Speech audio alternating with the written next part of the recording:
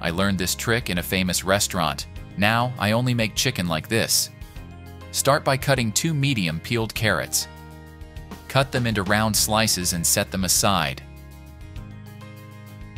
Next, cut one zucchini in half, lengthwise, then into strips. Now, in a large baking sheet, add 500 grams of white rice, the carrots, the zucchini, one red bell pepper, and mix. Next, add 400 milliliters of cooking cream and set aside. Once you've done that, cut one whole chicken. First, remove the wingtips. Then butterfly the chicken by cutting it in half.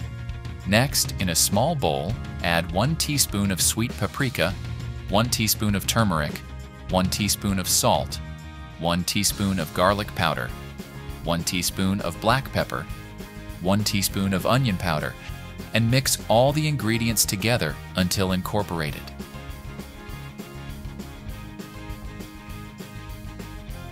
Next, spread this seasoning mix all over the butterflied chicken and set aside.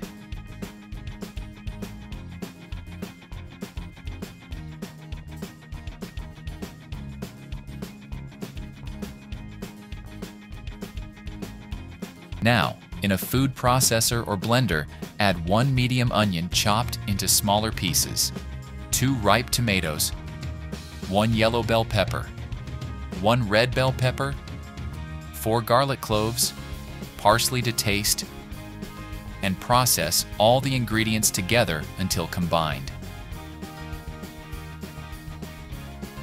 Next, spread this dressing all over the chicken with a brush.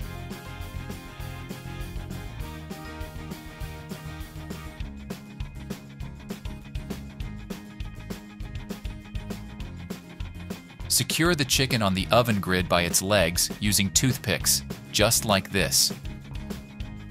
Take to a preheated oven at 180 degrees Celsius, 350 degrees Fahrenheit, and roast for one hour together with the rice we made. But keep an eye out. Roasting time may vary depending on the power of your oven. This is the right point. That recipe is ready. You may now serve and enjoy it.